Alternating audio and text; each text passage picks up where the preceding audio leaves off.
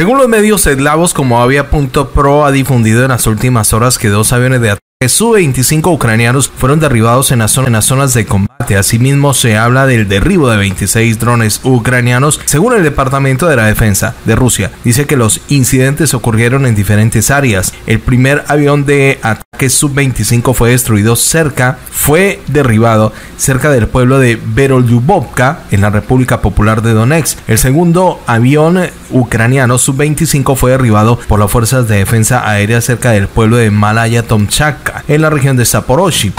Vamos a seguir revisando información de cómo avanza la jornada según el proyecto informativo Wargonzo. Está titulando, según Avia.pro, que las AFU ocuparon la parte norte del asentamiento de Rabotino en la dirección a Zaporilla. En contexto, la información dice que el ejército ucraniano, después de poderosos ataques de artillería, ocupó la parte norte del pueblo de Rabotino desde el este. La ofensiva continuó a lo largo de la carretera H08 al sur de Novoporovka. Esto permitió a las AFU avanzar. Dicha información es proporcionada por el corresponsal militar del proyecto Wargonzo. Informan también que el objetivo de las acciones sería expandir el frente de la ofensiva hacia Tokmak y mientras se fortalecen los flancos para evitar posibles avances de las líneas enemigas. Además, las Fuerzas Armadas de Ucrania, según este informativo, están realizando reconocimientos en combate cerca de Dromsiatka en un punto clave que indican es un interés estratégico. Los analistas creen que esto formaría parte del mando ucraniano que busca amarrar a las tropas rusas en un sector extendido del frente para evitar que se concentren fuerzas y se trasladen hacia unidades a zonas vulnerables para las líneas ucranianas.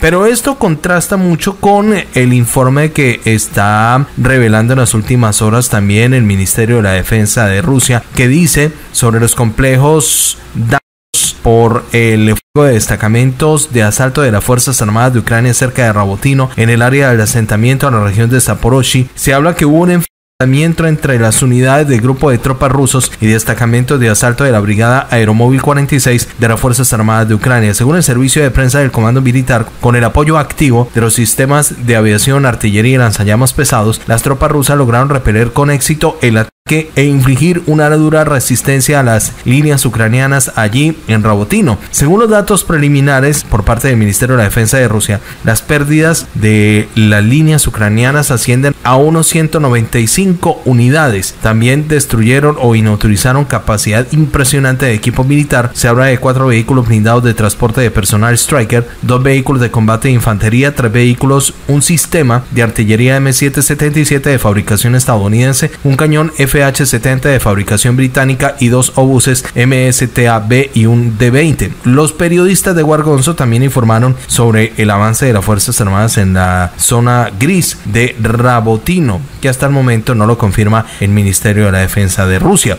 Nos vamos a ir para Siria. Un F-35 vuelve otra vez a estar casi en una situación de choque con cazas rusos. Esto habría ocurrido el 14 de agosto en la región de Al-Tanf, en Siria, a una altitud aproximadamente de 9 1100 metros, donde ocurrió un incidente que supuso una advertencia para los aviones de la Federación, aviones de combate F-35 pertenecientes a la coalición internacional liderada por parte de Unidos se acercaron de una forma a los Su-35 rusos. Según el informe, los pilotos rusos demostraron profesionalidad, tomaron medidas necesarias de manera oportuna para evitar la colisión con los cazas de la coalición, dijo el contraalmirante Vadim Kulit, subjefe del Centro Ruso para la Reconciliación de las Partes en Guerra en la República Árabe de Siria. En una sesión informativa, el contraalmirante también destacó que la aviación de la coalición crea rigurosamente situaciones en el cielo sirio los protocolos de conflicto, así como el espacio aéreo en este país en total. En las últimas horas se han producido nueve casos de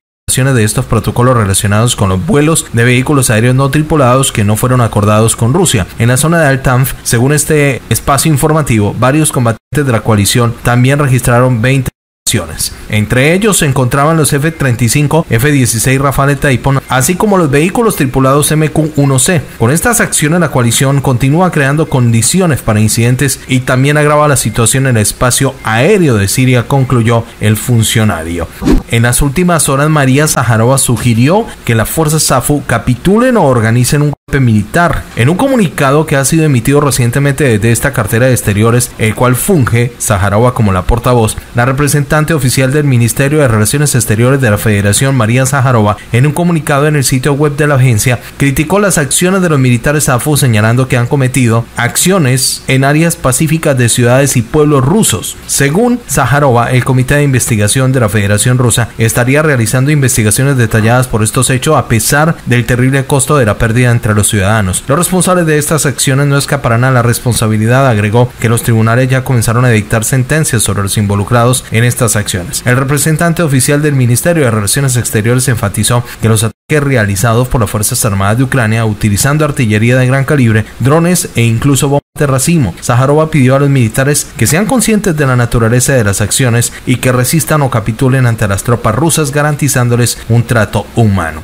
Aviones de combate en las últimas horas de Norcorea escoltaron un avión de reconocimiento de la Fuerza Aérea de Estados Unidos que invadió la zona económica exclusiva de Corea del Norte el 17 de agosto, reportó la agencia KCNA citando una declaración del Estado Mayor General del Ejército del país asiático. El norte volvió a realizar un reconocimiento aéreo la zona económica coreana en el mar del este de Corea con un avión de reconocimiento estratégico, dijo el texto. El Estado Mayor calificó lo sucedido como una provocación militar y calificó el vuelo estadounidense como una invasión no autorizada. Nuestros militares estarían listos para tomar cualquier acción para proteger la soberanía de la República, concluye la declaración. En las últimas horas se conoce que la potencia de combate de los bombarderos estratégicos rusos Tu-95MS se duplicaría este año gracias a los nuevos motores, declaró el jueves el viceministro de Industria y Comercio de Rusia, Oleg Bosharov, durante la visita a las instalaciones de la empresa ODK Kuznetsov en la ciudad de Samara, ha dicho que este año, en el marco del programa Tu-95, la potencia de combate de los bombarderos estratégicos sería duplicada gracias a Kuznetsov, dijo Bocharov. El funcionario también agregó que ODK Kuznetsov, que forma parte de la Corporación Unida de Motores Rusa, fabrica nuevos propulsores NK-3202 para los bombarderos estratégicos modernizados Tu-190. Los portamisiles estratégicos estratégicos del Tu-95 estarían diseñados para atacar blancos, zonas remotas y en retaguardia del enemigo con el uso de misiles nucleares la tripulación de estos aviones estaría compuesta por 7 personas. El motor turbohélice en serie más potente del mundo de 15.000 cb, el propulsor modificado mejora las características del despegue, la autonomía y la carga útil del avión.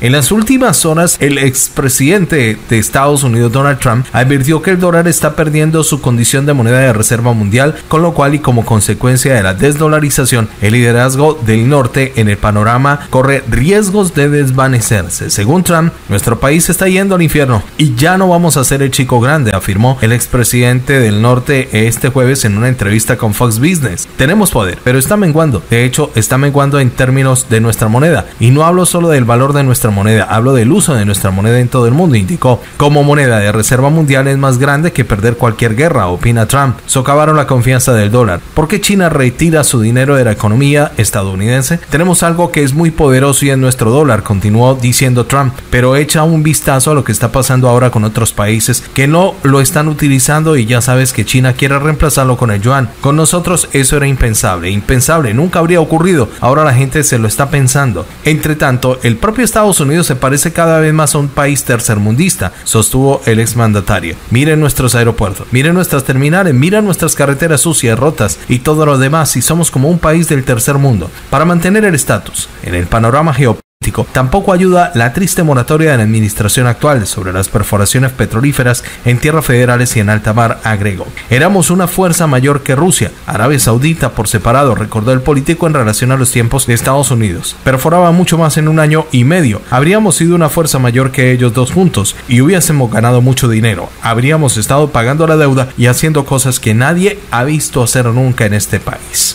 En las últimas horas, el Ministerio de la Defensa del Reino Unido comunicó este viernes que firmado tres contratos para enviar equipos de defensa aérea a Ucrania por un valor total de 90 millones de libras esterlinas, unos 115 millones de dólares. Los acuerdos incluyen un contrato de 56 millones de libras esterlinas para sistemas aéreos no tripulados con la compañía noruega Kongsberg, mientras que los dos restantes permitirían suministrar a Kiev más equipos de defensa aérea. De acuerdo con el comunicado, la entrega incluye múltiples tipos de drones diseñados para cumplir con diversas funciones como la localización de los objetivos, guerra electrónica, operaciones nocturnas, entre otros. Los contratos son parte de los paquetes de adquisiciones proporcionados a través del Fondo Internacional para Ucrania, un mecanismo para brindar apoyo militar que incluye al Reino Unido, Noruega, Países Bajos, Dinamarca, Suecia, Islandia y Lituania. El anuncio del Ministerio de Defensa británico se produce después de que la defensa aérea rusa derribara a primeras horas de este viernes un dron que intentaba atacar a las instalaciones en Moscú. En el marco de la conferencia de Moscú sobre seguridad internacional, el ministro de Asuntos Exteriores de Rusia, Sergei Lavrov, alertó el martes sobre la amenaza de un choque directo entre potencias nucleares que representará el constante suministro de armamento de los países occidentales hacia Ucrania.